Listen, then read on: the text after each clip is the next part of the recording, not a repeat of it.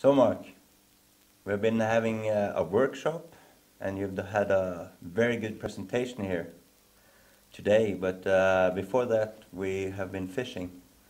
So I was just wondering what you think of the fishing here in, uh, in Trysil.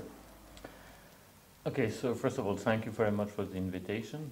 Um, I've been fishing many, many years ago with Toril, the Glåma River, and uh, I was very happy to come back here uh, after nearly 17 years.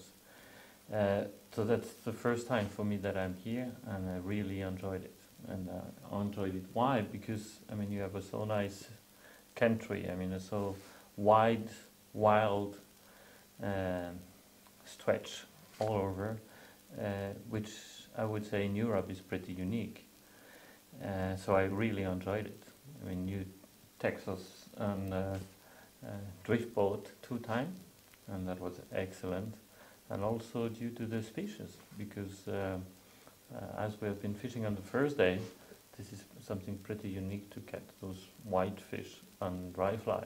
In my country, we are very much used to fish them nymph deep, about 20 meters uh, down in the lake, but it's very rare that they come onto the surface and they are not easy fish to catch. So this is really a, a challenging fish for fly fishermen. And as uh, uh, fly fishing is moving, we are very looking for new species in a way that we can catch on, on dry fly especially. So this is very great potential here for fly fishing.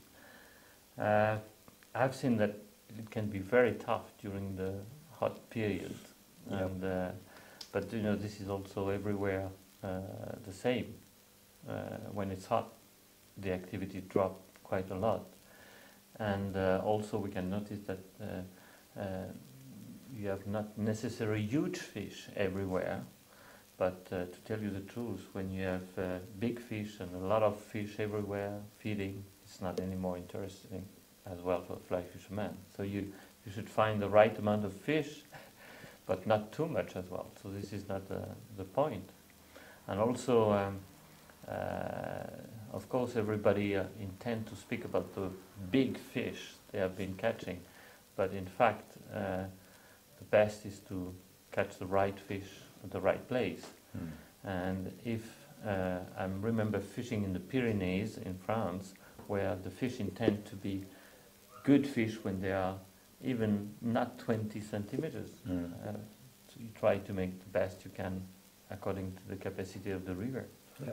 And uh, maybe when you are a young fisherman, you would like, to, of course, to catch the bigger fish, but after a few years, you, it is not an issue to have necessarily a big fish.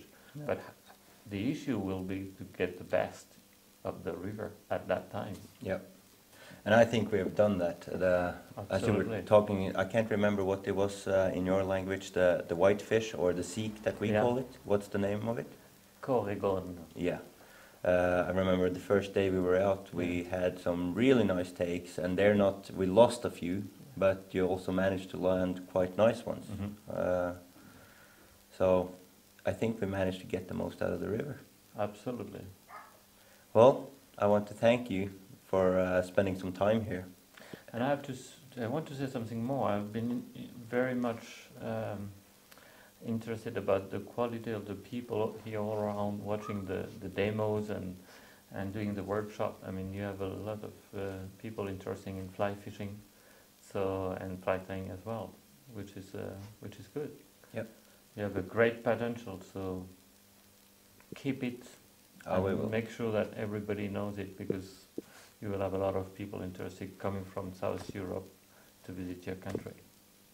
We hope so, and also hope that you will be back next year for and a workshop. Also, thank you very much for all the advice because as whenever you discover a new stretch of river, this is always very important to listen to uh, tips like what you gave me regarding how deep, how, how where, uh, and and this. Uh, you need to give this kind of information for everyone who just come here the first time. This is important. So find a way to to let them know because uh, you can be very disappointed without this kind of uh, tips that you gave me. So thank you for, for that as well. You're welcome. Thank you for being here. I'm looking forward to see you here next year. I will. Yeah. Thank you. Thank you.